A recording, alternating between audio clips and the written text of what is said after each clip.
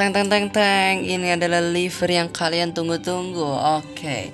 Halo guys balik lagi di channel RB Auto Media Bersama gue Rais. Dan di video kali ini kita bakal share livery mobilnya S15 Alpha atau Tosisan guys. Nah jadi ini mobil mungkin beberapa dari kalian udah pasti udah pada tahu ya. Jadi ini adalah mobil Bimo Andotama dari garasi drift yang dipakai sama nanti di acara IDS Final Round itu bakal dipakai sama Toshi San guys atau S15 Alpha. Oke, gue di sini nyebutnya S15 Alpha aja ya. Nah, jadi dan ini adalah emang ciri khas liverynya dari Jepang-Jepang banget dan gue udah gak sabar banget buat bahas liverynya karena kalian menurut gue kalian harus tonton di pembahasan liverynya sih guys ya. Oke ini penting sih menurut gua. Dan oke gitu aja. Langsung aja kita ke bagian body recommended. Dan sebelum ke bagian body recommended jangan lupa subscribe ke channel RB Auto Media. Dan bila ada iklan di video ini jadi skip skip supaya channel ini semakin berkembang dan bisa menjadikan video-video berkualitas buat kalian semuanya guys. Thank you supportnya. Langsung aja kita ke bagian body recommended nih. Nah untuk bagian uh, basic mobilnya ini kan 180 SX yang depannya udah diubah menjadi S15 ya. Nah, untuk basicnya adalah S15 ini di sini ya di Legendnya. Kita langsung pencet body kit, langsung pencet aja biar cepet body kit type A atau rocket bunny ya ini. Nah, spoil untuk spoilernya langsung aja kalian cabut. Kalian gunakan modelnya jadi yang seperti ini guys. Untuk bagian lampu kalian gunakan stok, selanjutnya untuk bagian uh, knalpot di belakang kalian gunakan mode seperti ini bumper belakang kalian gunakan mode seperti ini guys. Di mana ya? Sebentar guys. Masih uh, iya eh ini deh guys. Salah salah nah ya udah benar ya. Lampu depannya sekarang kita gunakan mode seperti ini. Untuk bagian mesin kalian gunakan stok Next untuk bagian velg itu di sini kita gunain velg yang modelnya seperti ini guys.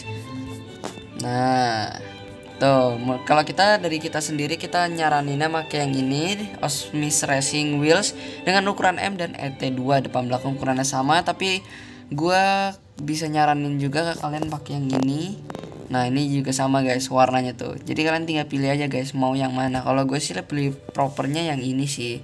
Itu terserah kalian ada dua pilihan. Terus untuk bagian kaliper di sini kita gunakan warna hitam Untuk bagian spion kalian gunakan stok. Selanjutnya untuk bagian shock breakernya di sini kita gunakan dari BC Racing dan untuk bagian interior kita pakai full roll cage dan untuk bagian setir kita gunakan mode seperti ini guys. Ada strip merahnya harness warna merah bucket seat full hitam dan untuk rem model seperti ini shift knob modelnya seperti ini guys. Selanjutnya untuk bagian lift uh, setup kaki-kaki kalian bisa ikutin ya. Kita ikutin ada di reelnya guys ya. Nah selanjutnya untuk bagian livery yang ada di uh, pemilihan cat dulu ya pemilihan cat yang ada di body ini kita gunakan warna normal dengan kode 06 kali dB guys Oke, selanjutnya untuk bagian piping turbo di sini kita warnain hitam, roll cage juga kita warnain hitam. Jadi ini masih sebenarnya body recommendednya masih mirip-mirip sama waktu kita bikin liverynya Kang Miji ya guys. Tuh. Karena mobil juga sama-sama mobil dari Bimo Andotama dari garasi drift. Oke, untuk bagian livery di body ada 630 layar. Dan di sini untuk pertama kalinya gue bikin livery dengan sponsor palsu terbanyak. Tapi soal itu nggak masalah banget karena gue mau kasih tahu ke kalian ya. Dan untuk bagian catnya di sini kan warna ungu-ungu gitu ya. Di sini kita masih gunain yang gloss yang tadi gue bilang. Kalian gunain warna gloss dan ini kode warnanya. Terus ada pola-polanya di belakang tuh pola naga guys kalau kalian ikutin. Sebenarnya kayak pelan-pelan kalian urutin tuh garis-garisnya itu menjadi naga. Kalian bisa lihat aja di komunitasnya RB Media waktu proses gua bikin liver ini. Selanjutnya di sini ada percikan-percikan gitu ya. Terus untuk apa lagi nih? Nah sponsor-sponsor. Di sini ada sponsor-sponsor asli yang udah ada di Everagent contohnya Garage Trash Racing Valino dan udah itu aja. Terus di sini kita bikin AP Racing, Garasi Dorifto, Good Fix. Di atas juga alhamdulillah masih kita bisa sempet-sempetin masang AP Racing, Garasi Dorifto, ada Garage Garage Stress ya. Dan sponsor-sponsor palsu sisanya ini modelnya menurut kita kita yang cari yang mirip-mirip ya. Jadi kan kalian kalau lagi mabar atau lagi photoshoot gitu juga nggak terlalu kelihatan karena eh, nggak uh, masalah guys. Tuh kalian bisa lihat ya looksnya masih bagus terus untuk bagian di sini lagi yang tadi bodinya gitu bang kok di nggak lu nggak pasang daktel kan di situ tulisan garasi drift.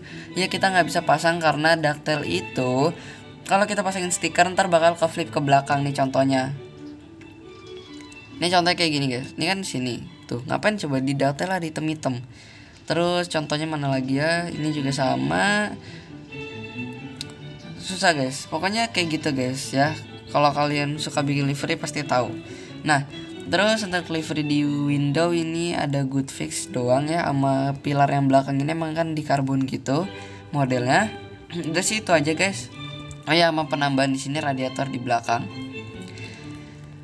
So bagi kalian suka dengan livery ini langsung aja sikat link post di bawah video ini dan jangan lupa tag akun sosial media RB Auto Media kalau kalian pakai livery livery dari RB Auto Media ntar bakal kita repost kita like dan dan kita senang banget sih kalau kalian pakai livery livery dari RB Auto Media. Oke gitu aja sih guys.